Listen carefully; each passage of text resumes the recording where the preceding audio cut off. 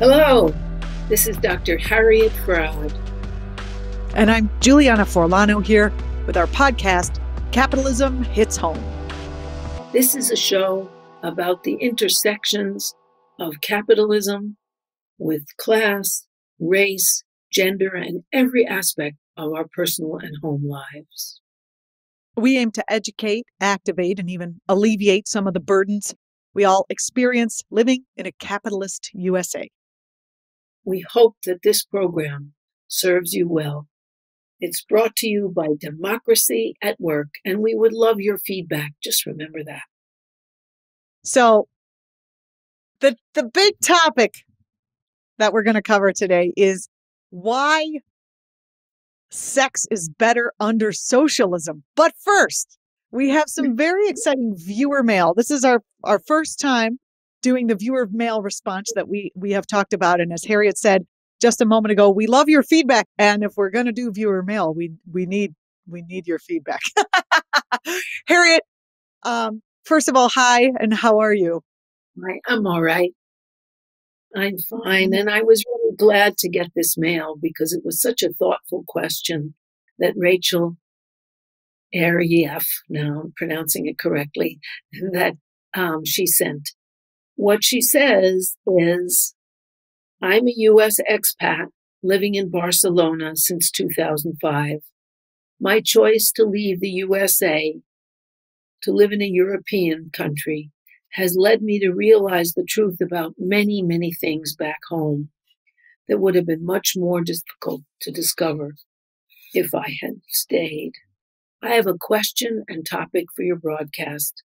What is the intersection of narcissism and capitalism, specifically in the US, where narcissism seems culturally ingrained and even celebrated. Why? This is probably an easy one for you, but I'd be interested to hear you speak. And for you and Julianna, I'm adding that to discuss this. So I will uh, begin to address it, which is in capitalism, it doesn't pay you. You are not a good businessman or woman if you give people exactly what they earn for you. You know, then you're not getting any profit. And what's the point of being in business if you don't get profit? So you are cheating people from the get go. If you have compassion for your fellow citizens who work for you and worry about their being constrained rather than you getting more, you won't be a good business person. So, built into the capitalist business plan is narcissism. And we have seen where it can lead since our proto fascist, happily ex leader is the epitome of narcissism, thinking only of people suffering in terms of his own aggrandizement. So that as the country was coming down to COVID, he thought, no, the economy has to keep running or else people won't vote for me in the business sector because they won't be making money. Suppress the virus, which of course increased it and made us now the second worst country in the world in terms of COVID 19. Britain, UK currently leads. But that he has turned a blind eye to our suffering. But he is aggrandizing himself. And in his platform, where he said, I'm for anybody who's for me. You like me, I'll like you and reward you. You don't, I won't. It's all about me, in other words. Now, there were 74 million Americans who thought that was just fine, who voted for him and who won't wear masks because they think this is my individual right, even though they may infect everybody else and get infected. But they're only thinking of themselves. Narcissus was a Greek god who looked at his reflection in the pond and fell in love with himself. And he got so enamored of his own image that he fell in the pond and drowned. Well, Hmm. Narcissism is being so interested in yourself, your own aggrandizement, your own profit, that you don't see anyone else. There's a very good film called Capitalism by Costa Gavras, the famous filmmaker, in which the protagonist, who's making more and more money, but he's losing everyone who cared for him his wife, his children, his colleagues. And one of his colleagues who gave him the tip that made him rich said, You're losing everyone. He said, I don't care. I'm winning. I'm winning because he's getting more and more. That's ultimate narcissism, where you don't care about connection. You don't care about other human beings. You just care about yourself. And capitalism is the fertilizer that grows that narcissism.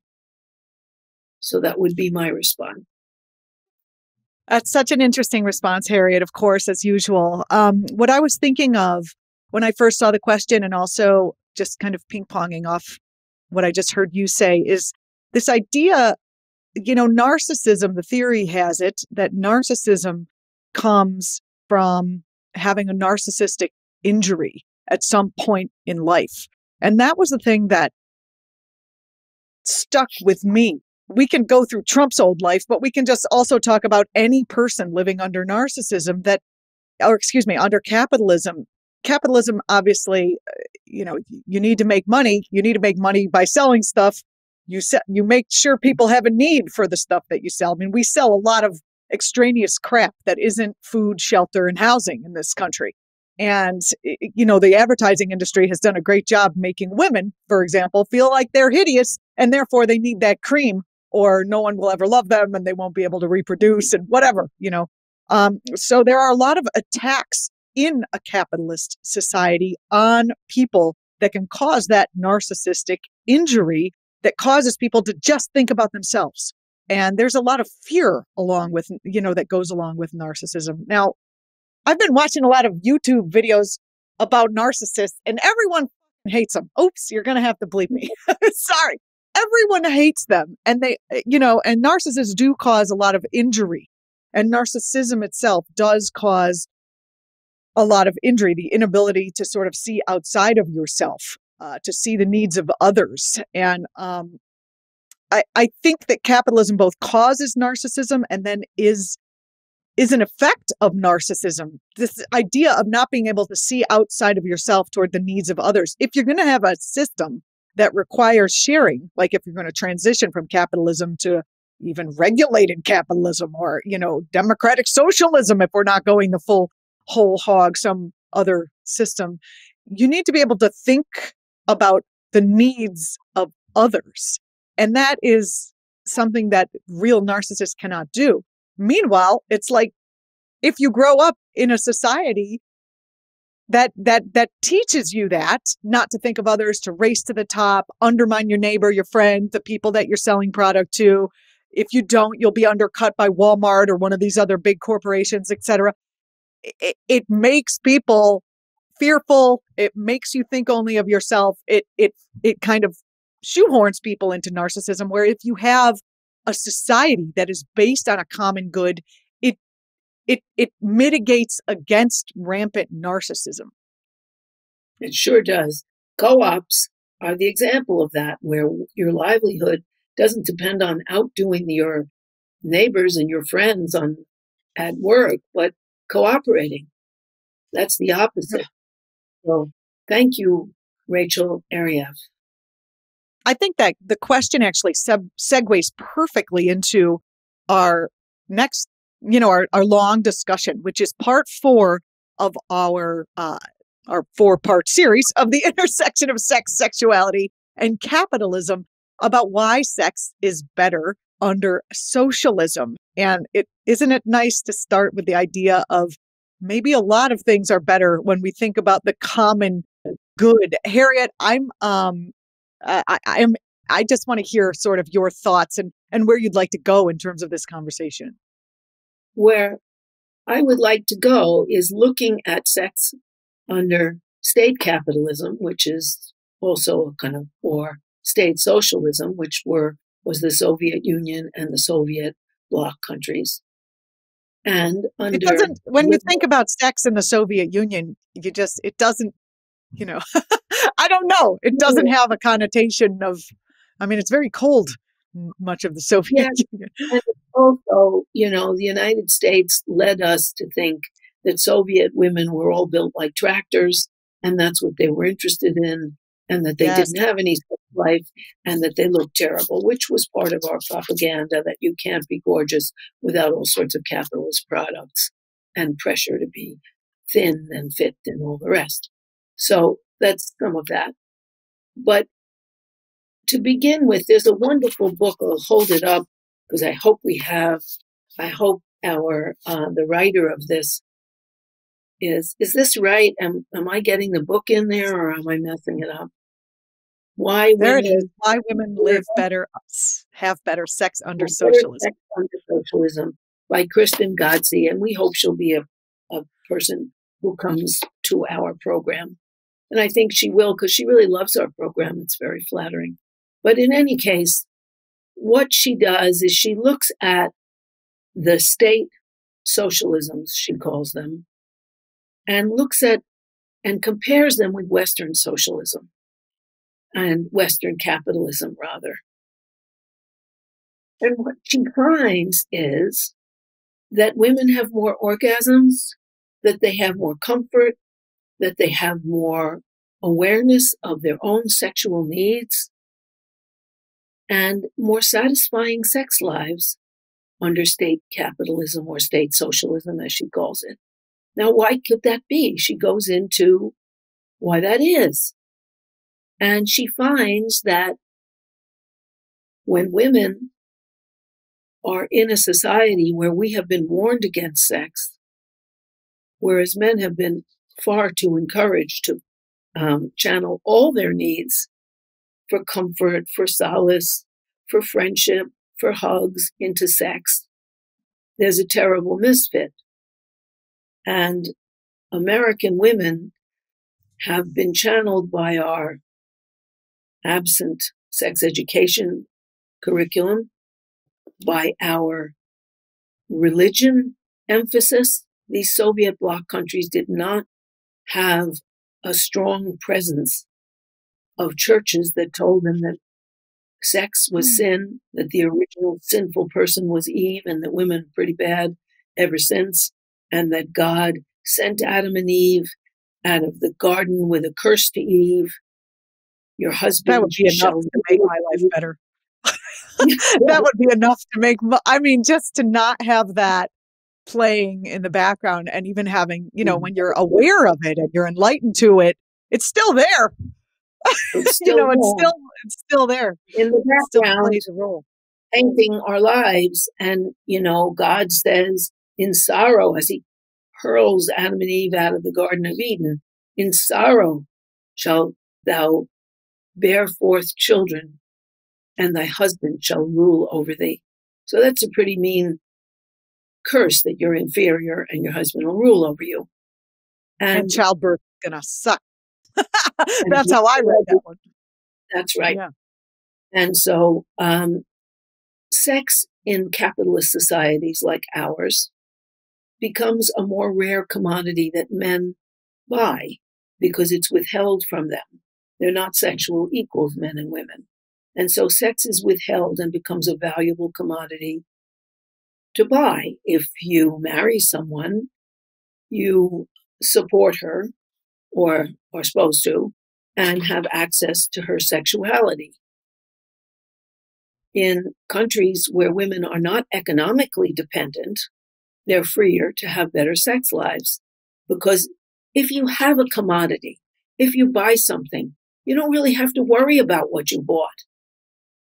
It's yours. You bought it. You don't have to worry about it. if it's having a good time, you use it. You, what do you make of the fact that they keep saying things like women are more economically independent in capitalist countries than they are in in socialist countries?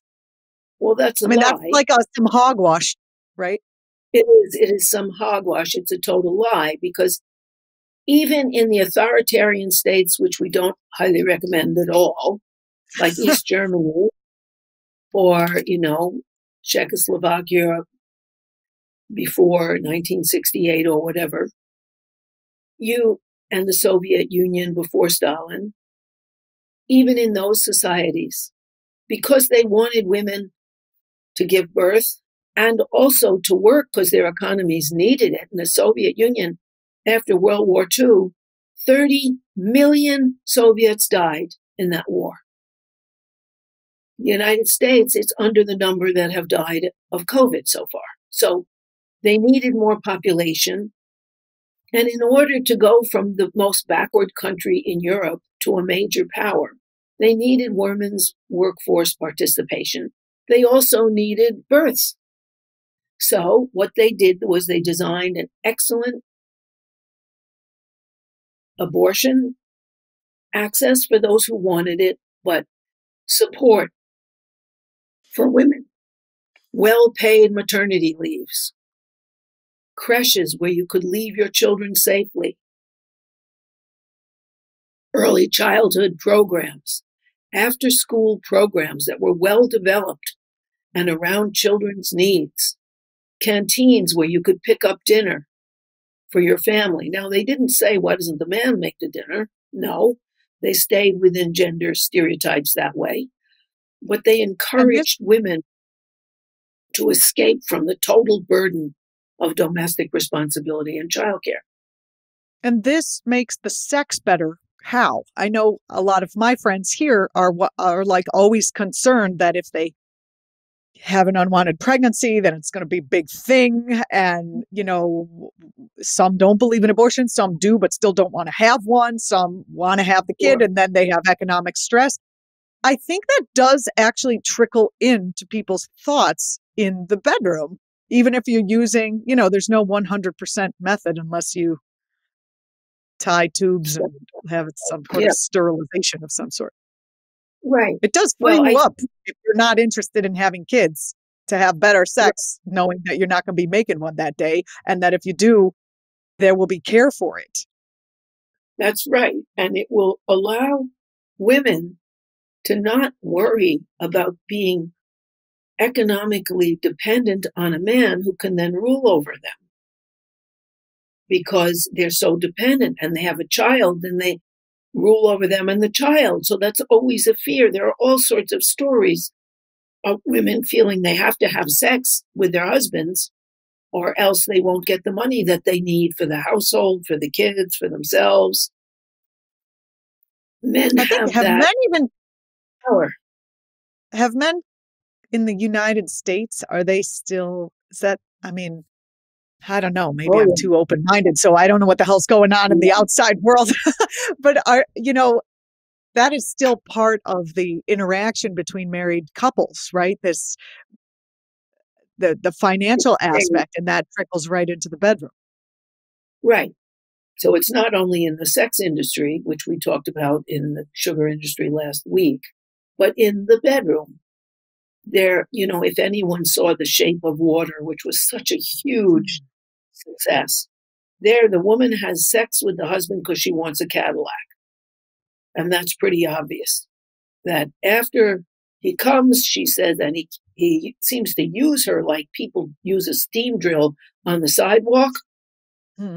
And she doesn't look like she's saying anything or having any fun at all, but she looks like she's getting a Cadillac.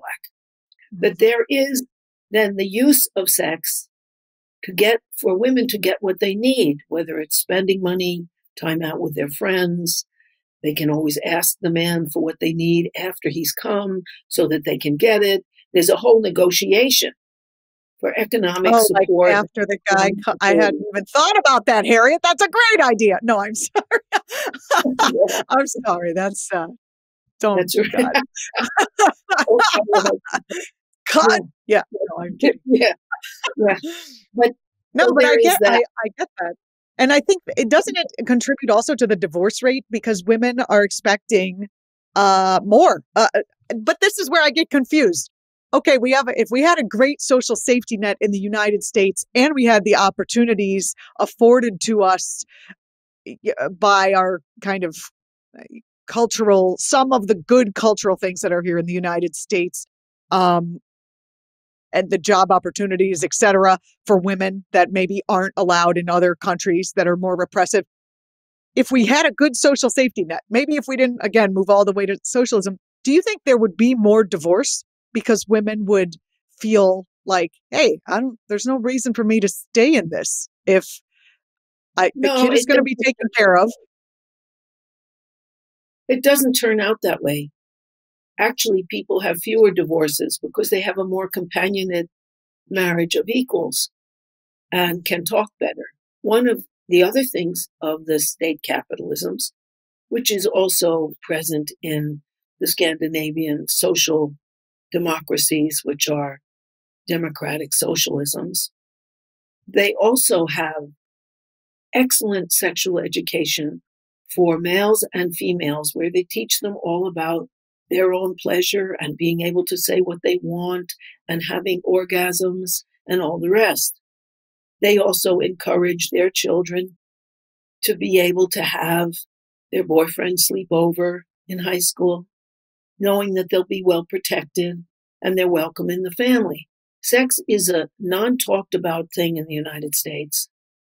And therefore, we have the most teen pregnancy. We have the most STDs. We have the most abortions because people don't want to be seen being so sinful. They're preparing, they're thinking ahead Mm. rather than just meeting, committing a venal sin. They're, com- they're actually sinning much more because they're planning to have sex. God help us, so to speak. um, Oh my gosh. Gosh. and so Yeah. you have a kind of also the shame of sex is transferred onto women whose sex is commodified. We're supposed to resist the lascivious predations of men in order to be, quote, virtuous. And so that sex becomes a commodity that women can bargain for marriage or anything else. There was a joke in the 60s when women and 50s when women tended to be married much longer. Men are like linoleum. You lay them right once, you can walk on them for 20 years, right? That's funny. Because it was. But of course, men had their equivalent. There's a handy little thing called a wife. You screw it on the bed, it does all the housework, right? It's the equivalent. Ay, ay, ay.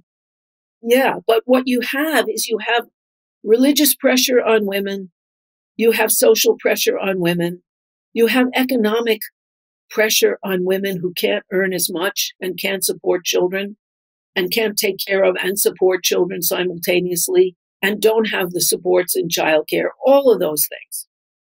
And so they all add up. That's why in East Germany and West Germany, she studies before and after, sex before and after the collapse of the Berlin Wall, and finds that Eastern European women had much greater satisfaction. And men thought they were a whole lot more responsive in bed, too, because they weren't afraid. And in West Period. Germany, they were more afraid. I think you um, just pointed at my final question um, for you because we're, I can't believe we're out of time. It's like we just started. Always. Um, is sex better for men under socialism as well? We've talked mostly about women. Yes, it is, because having a responsive partner, unless you want to just kind of drill your partner and use her to get off and not notice she's human, Is that Sex sex, or is that masturbation with a person? latter. But Hmm. then it, you know, Eastern European men and men after the fall of the wall had sex with Eastern European women found that it was much more fun because they had an equal partner who could say what she wanted, who could enjoy it, who didn't come with it with all sorts of shame. And the same, I'll just do a, I know we don't have time, but in the social democracies of Scandinavia, Sweden being the most backward, the Netherlands, which is included there, being the most developed, kids don't learn sex education. They, and that was so in the Eastern Bloc countries. They learn about sexuality, their own as a part of life, which is welcome, and a partner's, how to have pleasure and please your partner. Very different idea from the shameful way or the purely biological way sex is taught in those 17 out of 50 states that have sex education that's biologically correct, but emotionally absent. And so, you know, that too is more satisfying sexually for women and for men. Both. We look forward to hearing all of and reading your all of your comments uh, underneath the video, or however you feel like getting them to us. I think you can uh, get us at the democracy at work.info website as well. Um, and we're happy to use your comments, and um, we always ask for permission if if we can use your name. Uh, but use your comments, respond to your comments, and maybe respond on air. And also at whatever suggestions you have for what you'd like to see us have a discussion around. We do thank uh, Rachel for the, the the suggestion for today. That is all we have time for. Um, I do want to make a plug. Thank you, everyone who is contributing financially to our program. We are not fully self-sustaining yet. Democracy at Work is help is helping us, but we do need to become self-sustaining. So if you have uh, a little bit of cash and you find this helpful, uh, we could use it. Patreon.com forward slash capitalism hits home. Again, patreon.com and then forward slash capitalism hits home is where you can make a contribution to support this program. Also, you can support us by sharing, uh, making comments uh, below. You know, that helps the algorithm on YouTube. Uh, and wherever you're seeing this, just tell your friends about it. Yes. Oh, I do want to remind everyone to that that you know we've had four. This is our fourth section on sexuality. So uh, if you if you're just tuning into this one, definitely go back and watch the last three. We did the sugar industry. We did um, sex education. What was the other one, Harriet? I forgot. Let's see. Mm, I forgot to. Well, it's good. Whatever it was, it got us on a roll to do three more. So thank you so much, everyone, for watching. Um, you can follow Harriet on her website, harrietfraad.com. It's H A R R I E T F R A A D. I'm Julianna Forlano. You can find me and follow me and ask me whatever on Twitter. Uh, Democracy at Work is both on Twitter and Instagram at democracy at WRK. And if you're watching us on YouTube, again, please leave a comment. It really helps spread the word. Thanks so much. Thanks, Harriet. And thanks to Brian Isom, like isometric. Maria Carmola. Yes, we've been mispr- we've been mispronouncing Brian's name this whole time. Yeah, but we're now. And all the people from Democracy at Work that make this podcast possible.